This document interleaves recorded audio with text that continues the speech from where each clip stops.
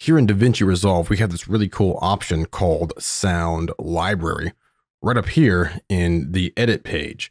So for example, I can just type in, let's just say drums, and that's going to search through my file system for the folders that I have linked. And then I can just come in here and say, select something, listen to it. If I like it, go ahead and drag it right into my project. But you have to set this up first. So we're going to do that right now. Let me clear this out and let's go ahead and set it up if you haven't uh, done this yet. So head down here to the house icon. What you want to do is create a new database called sound effects. Now I already have one uh, created, but if you don't, just click new database, go to create, type will be disk, name, go ahead and name it sound effects. All right, sound FX, all one word. And then for location, just click here and you can navigate uh, wherever you want. I have mine placed on my E drive right here. Uh, you can put it on your C drive. You can put it anywhere you want. I just have mine right there. So after you select the uh, folder or the location that you want, go ahead and click create. I'm not going to because I already have mine created. All right, so I'm going to cancel out of this, but you're going to go ahead and click create. After you create it, go ahead and close down DaVinci Resolve and then open it back up. After DaVinci Resolve opens up, go ahead and head back to your local database and open up a project that you already have or go ahead and create a new one. We already have one open here, so I'll just close out of this.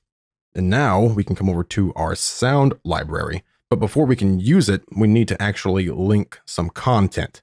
If you haven't linked anything yet, you'll have an add button down here. But if you have, you'll have an add button right up here. But before we choose that, make sure you hit this little disclosure triangle and choose your sound effects database. All right. Now we'll come up here, in my case, and choose add library. I'll just navigate to the folder I want to add. And for me, it's this folder right here because I have a lot of whooshes uh, that I use all of the time. And let me uh, cancel out of this for now. So instead of having to actually open up my folder here and come into the file system and then find uh, a cinematic hit and drag it into my bin, instead of doing that, I can just search through everything in my sound library. So much, much faster, much easier to do. So again, sound effects is selected right here for my database. Come back to add, navigate to my folder. I'll just select the master folder there, select that folder, and I want to go ahead and link that and let it scan. And now we are done. So I'll just click OK.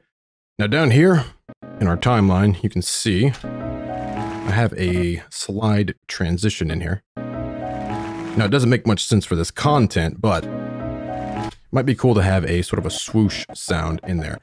And usually I'll grab one of my effects from my file system, I'll grab it and then throw it in. But now that we have our sound library, I can just, of course, navigate to it, make sure I'm searching through our sound effects database.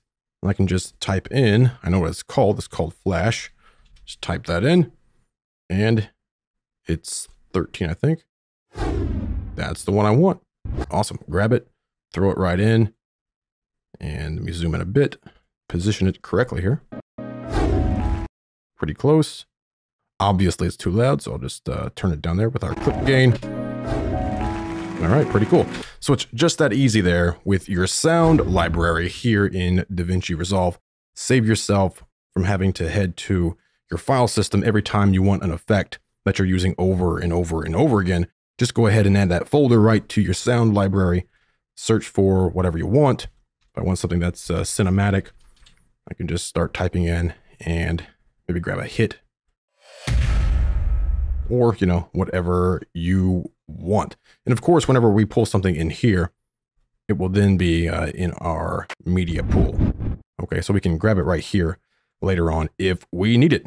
All right, so that is our sound library here in DaVinci Resolve.